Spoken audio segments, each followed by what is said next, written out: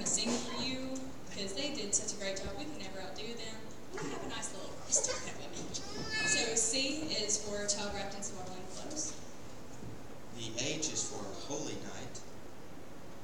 The R is for the child is born. I is for indescribable. The other S, oh, the S is for shining star.